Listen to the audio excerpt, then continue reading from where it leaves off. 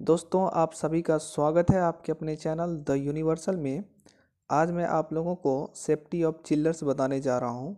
इससे पहले मेरे बहुत सारे वीडियो हैं जो कि मैं इस चैनल पर डाल चुका हूँ एच से रिलेटेड। अगर आपको इसमें किसी भी टॉपिक पे डाउट है तो आप कमेंट बॉक्स में लिखेंगे, मैं उस पर वीडियो बनाऊँगा। ऐसे इससे पहले बहुत सारे वीडियो डाल चुका हूँ मैं, वर्किंग का और टेस्टिंग का, सारा चीज़ का। तो आप मेरे चैनल को सब्सक्राइब करके बेल आइकन को दबा करके देख सकते हैं। सारा वीडियो आपको मिल जाएगा, ठीक है? तो पहले ब्रीफ देखते हैं और उसके बाद डिटेल में बताएँगे क्या है ये सारी चीज़, ठीक है? सेफ्टी ऑफ़ चिल्लर। क्वेश्चन हमेशा इससे पूछा जाता है कि सेफ्टी ऑफ़ चिल्लर क्या है?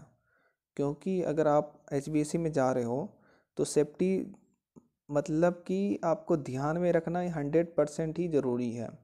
ये हर एक इंटरव्यू में पूछा ही जाएगा। आप मेरे से लिखवा लो, अगर आप किसी इंटरव्यू में बैठ रहे हो तो उसमें भी देख लेना, ठीक है? तो मेनली जो प्राइमरी जो सेफ्टी होता है high pressure low pressure low oil pressure water flow switch और एंटी फ्रीज ये मैं आपको ऐसे बता दे रहा हूँ, अगर जिसको नहीं देखना है वीडियो मतलब कि ज़्यादा लंबा नहीं देख सकते हैं तो इसके लिए ये है। अगर आप डिटेल में देखना चाहते हैं तो मैं उसके लिए, मैं आगे बता रहा हूँ क्या क्या है ये हाई प्रेशर लो प्रेशर किसके रेस्पेक्ट में, अगर आप सीखना चाहते हैं तो लास्ट तक देखेंगे। ठीक है? अब ये दिखा रहा हूँ।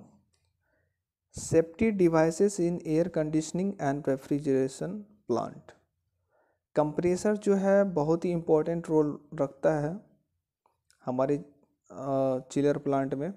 तो उसके रिगार्डिंग तीन चार सेफ्टी हैं, फिर आगे मैं सेफ्टी बताऊँगा। बहुत सेफ्टी तो बहुत सारे हैं, लेकिन जो प्राइमरली है, वो मैं बताने जा रहा हूँ, ठीक है? Compressor is an air in air conditioning and refrigeration plant have to be provided with protective devices and circuit to protect them from damage damage होने के लिए, क्योंकि बहुत हैवी पार्ट्स होता है। उसके बिना आप मतलब चिलर को चला नहीं सकते हैं और बहुत कॉस्टली भी आता है तो इससे प्रोटेक्शन ज़रूरी है, ठीक है? तो the basic protective devices are high pressure cutout low pressure cutout oil low pressure cutout and oil separator या ऑयल एक्सट्रैक्टर अब ये क्या क्या होता है तो वो मैं बताने जा रहा हूँ। देखिए, A compressor in refrigeration or air conditioning plant has to be protected with some safety to protect it from operational fault. अगर बीच में fault आता है, operational fault तो वो protect कर लेगा, ठीक है? Three common safeties provided are high pressure trip low pressure trip the low oil pressure trip क्या होता है ना? हाई प्रेशर कटआउट जो है, हमारा डिस्चार्ज में लगा होता। अगर आप पकड़ लो, ये हमारा कंप्रेसर है, ठीक है? और ये डिस्चार्ज आता है किसमें हमारा कंडेंसर में जाएगा, है ना? डिस्चार्ज लाइन और ये हमारा सक्सन लाइन है, जो इवापोरेटर से आता अब इसको बहुत ही दिमाग में रखना क्या है बोले बोलेगा तो हाई प्रेशर ट्रिप क्या होता है कि ये यहाँ पे लगा होता है, इस साइड में डिस्चार्ज में, यहाँ पे आपको एक सेफ्टी डिवाइस लगा होता इसमें क्या होता है, जैसे ही प्रेशर ज़्यादा होता है, यहाँ जो है उसको सेट किया जाता है। एक यहाँ पे नट बोल्ट के टाइप का होता है जो कि मैनुअली आप सेट कर सकते हो, ठीक है? कितना प्रेशर रखना है। यहाँ प्रेशर जाएगा, इससे होते हुए तब ये लाइन में जाएगा। अगर ज़्यादा प्रेशर होगा तो ये वोल्ट जो है, यहाँ पे वोल्ट जो टाइट रहता है, इसमें बेलोज लगा होता। है ठीक है? रबर का उस टाइप का लगा होता है जो कि एयर डालता है तो ये एक्सपेंड करता है उसके हिसाब से। तो उसमें सेट किया जाता है कि कितना प्रेशर तक आपको रखना है, ठीक है? ताकि वो लाइन फर्दर डैमेज ना हो। अगर ज़्यादा होगा तो ये ब्लास्ट कर सकता है ना तो इसके लिए। सक्सन में भी वही है। लो प्रेशर में अगर प्रेशर लो हो रहा प्रेशर लो होने का कारण क्या है कि आपका जो है इवापोरेटर में टेम्परेचर लो है। टेम्परेचर लो होगा तो ये सक्सन प्रेस प्रेशर भी यहाँ पे लो होगा। तो अगर ठंडा है हमारा पहले से ही ऑपरेटर में तो हम ठंडा करने क्यों जाएँगे? अगर ठंडा करने जाएँगे तो इसमें कम से कम इसमें तो रेफ्रिजरेशन होना चाहिए ना, रेफ्रिजरेंट होना चाहिए तब तो ये कंप्रेस करेगा। अगर यहाँ पे रेफ्रिजरेंट की कमी होगी और ये कंप्रेसर चलता रहा तो यहाँ पे एयर शक कर जाएगा। एयर मतलब कि या तो यहाँ वैक्यूम क्रिएट हो सकता है। वैक्यूम क्रिएट होने के बाद भी एटमॉस्फेरिक प्रेशर ज़्यादा बढ़ जाएगा तो ये भी ब्लास्ट कर सकता है। तो इसलिए सेफ्टी लगा होता। और अब जानते हैं कंप्रेसर घूमेगा तो बियरिंग लगा होता है तो उसके लिए लो ऑयल प्रेशर रहता है। ऑयल का प्रेशर हम, हमेशा रहता है, ठीक है? क्योंकि ऑयल नहीं रहेगा तो बियरिंग खराब हो सकता है। तो वही दिया हुआ है, आप देखिए।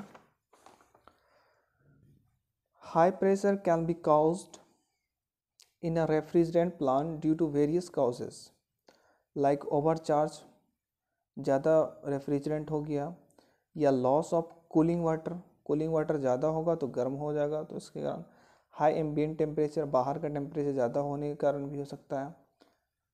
और अदर इनकम्प्रेसिबल जो कि कंप्रेस नहीं हो सकता, वो गैसेस उसमें इंटर कर गया, ठीक है? कंप्रेस में क्या होता है कि आप किसी चीज़ को प्रेस करके उस, उसके वॉल्यूम को कम कर सकते हैं। अगर इनकम्प्रेसिबल होगा कंप्रेस नहीं कर पाएगा तो उसका वॉल्यूम तो बढ़, बढ़ता ही रहेगा, घटेगा तो नहीं तो उस कारण में प्रेशर हमारा बढ़ जाएगा। तो वो सब जो है प्रोटेक्ट करने के लिए ये हमारा रहता है। तो ये काउज बता रहा है क्यों क्यों होता है।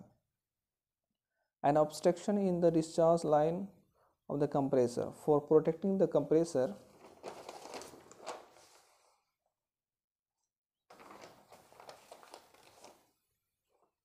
अच्छा अब क्या है?